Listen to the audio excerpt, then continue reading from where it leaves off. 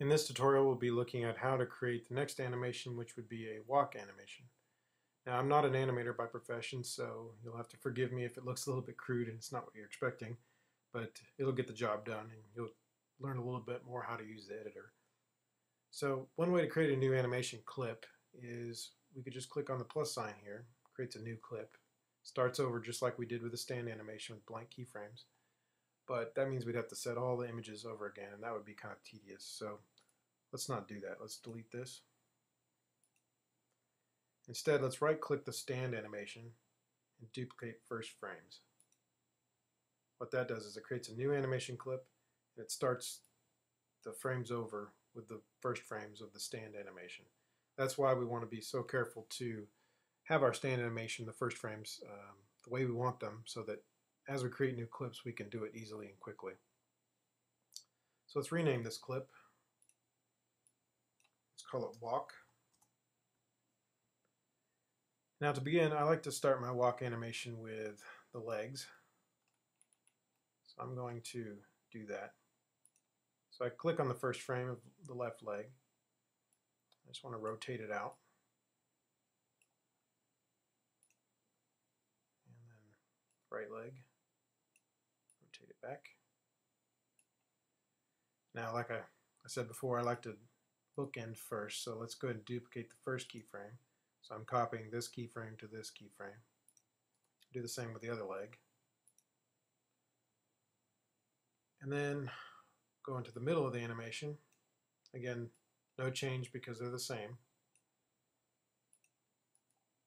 right click on this and we're going to change the position and the rotation of the legs so we'll go ahead and do the shortcut position rotation. So the position and rotation is already set and we don't have to click blank and then fill these in. And we'll go ahead and go to the opposite end of the leg. And do the same with the other leg.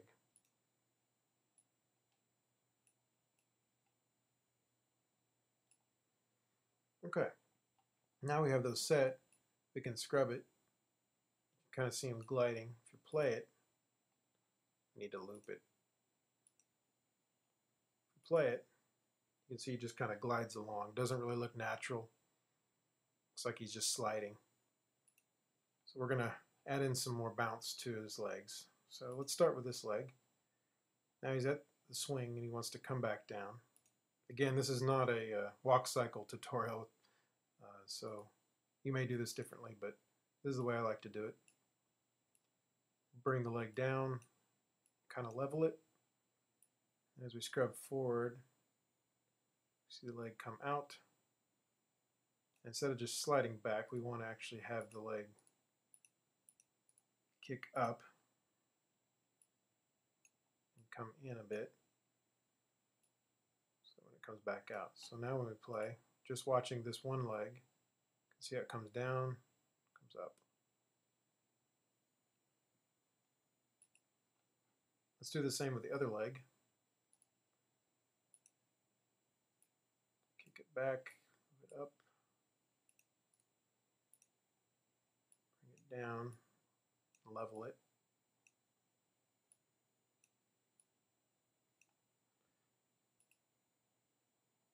Now when we play, See, it's a little more natural. So select one of the keyframes.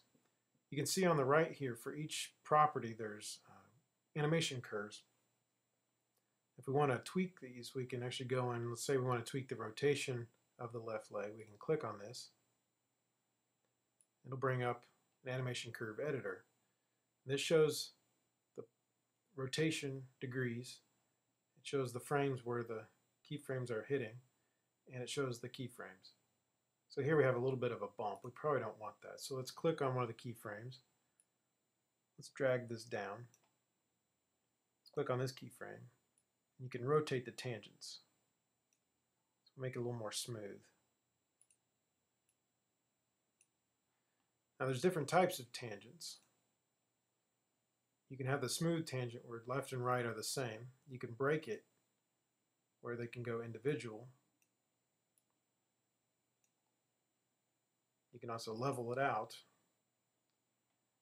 you can change the left and right tangents individually. So the left tangent's at free right now, so you can move it freely. You can set it to linear so that it'll always point to the previous tangent. You can set it to constant so it'll just go and then change immediately. You can do the same with the left tangent or the right tangent. For this, we want it smooth.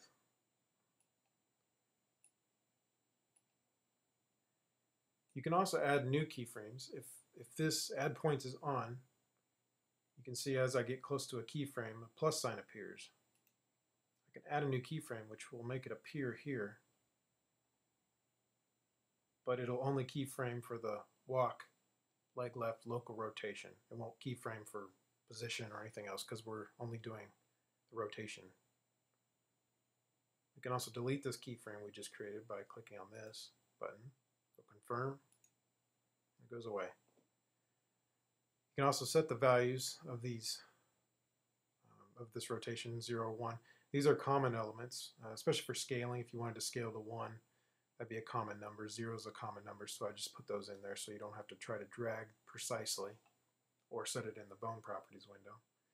This window is just like the other windows. It can be dragged, scaled, and you can fit to the window to show the whole whole curve. You can also drag keyframes back and forth. Now notice it snaps to the frame because in the editor you have to set it by frame. If you don't feel that that's enough precision, you might want to make your animation spread out more and just speed it up. That way you get more, more frames uh, per second. If you don't like this uh, plus sign showing up for the adding points, you can turn that off and it won't show up anymore. So that's the animation curve. So let's go ahead and look at these others. See, that's kind of bumpy there, so let's go and smooth this a bit.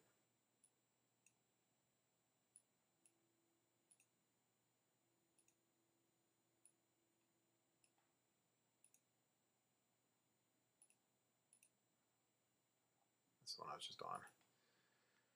Okay, so those look okay. Let's go to the other leg.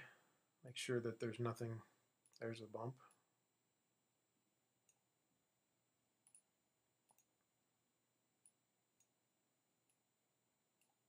Okay, so we've kind of smoothed that out a bit. If we play it back, not as much jiggle in the legs. Okay, so now we got that. Let's go ahead and rotate the arms. This arm the uh, left arm is going to follow the right leg, so let's rotate it with the right leg. The right arm is going to follow the left leg, so let's rotate it with the left leg, these two. And then halfway, we want to insert a position rotation keyframe, rotate it up to match. Click the other one, position rotation keyframe, rotate down to match that one. And then we can just duplicate the first keyframe on each of these so that they loop back. If we play it, see the arms are following the legs. Now he's very stiff, he's still gliding along. So one thing we're going to do here is we're going to create a new bone. And let's rename this to bounce.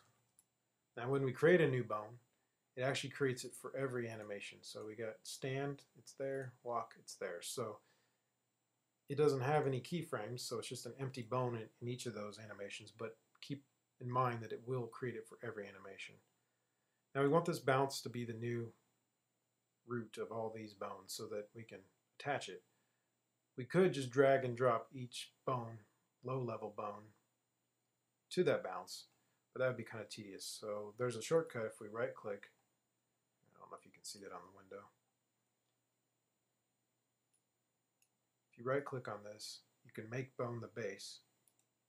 When you do that, it puts it at the right above root and makes every bone child of it. So now we can go back and animate the bounce.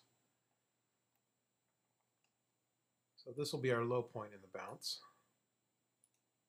When the legs are together, this will be the high point. insert a blank keyframe. We don't need rotation, we just need the Y. Notice we didn't set an image This is just a transform only, so it doesn't need an image for this bone. So there are bones that don't need images. Let's insert a blank. Let's do the Y. Let's bring it back down. Let's insert another blank. Do a Y. Bring it back up. And just duplicate the first keyframe. So now when he walks, he's got a little bit of bounce, and it looks like when he hits the ground, he's moving up, which is what we want. So that looks a little better. You can see his tunic though is still pretty stiff, so we'll go to tunic here. You see how it kind of balloons out a bit. We're going to insert a blank, and let's put a X scale in.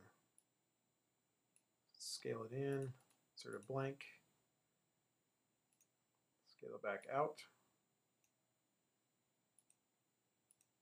and another blank, scale it back in, and copy the first one. So now it kind of moves with his legs. So that looks pretty good. That's that's our walk animation. That's a little bit slow. Let's speed it up a bit. So now he's got a little more pep in his steps. So he's moving moving along now. I believe that's all we need to do for the walk animation. The next tutorial will I'll show you how to script this so that you can actually create it um, on your on your mesh in real time.